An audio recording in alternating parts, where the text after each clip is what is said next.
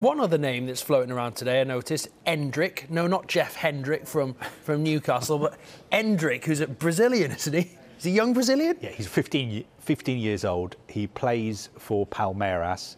We don't want to put too much pressure on his shoulders, but he's been described as the future of Brazilian football. Uh, no pressure. No pressure. He's been compared to Romario. He's been compared to Ronaldo. Right. He's only 15 years old.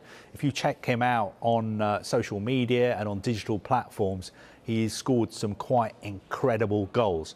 Now, most of the big clubs uh, around the world are watching him Real Madrid, Liverpool, Barcelona, Manchester United, the usual suspects. But what is significant is that today in Sao Paulo, uh, Barcelona have sent scouts to watch him play.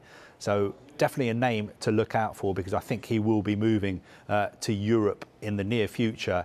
Endrick 15 year old who plays for Palmeiras. Okay, the jewel of Palmeiras is described. How think he can compare to Romario and Ronaldo. I mean, different I, players. I, I, didn't compare him. I, I said he has been compared. And I remember when, when you were the next big thing, Carver, we were all talking about you coming through the, the system. Um, now you're there. Yeah. Uh, great stuff, guys.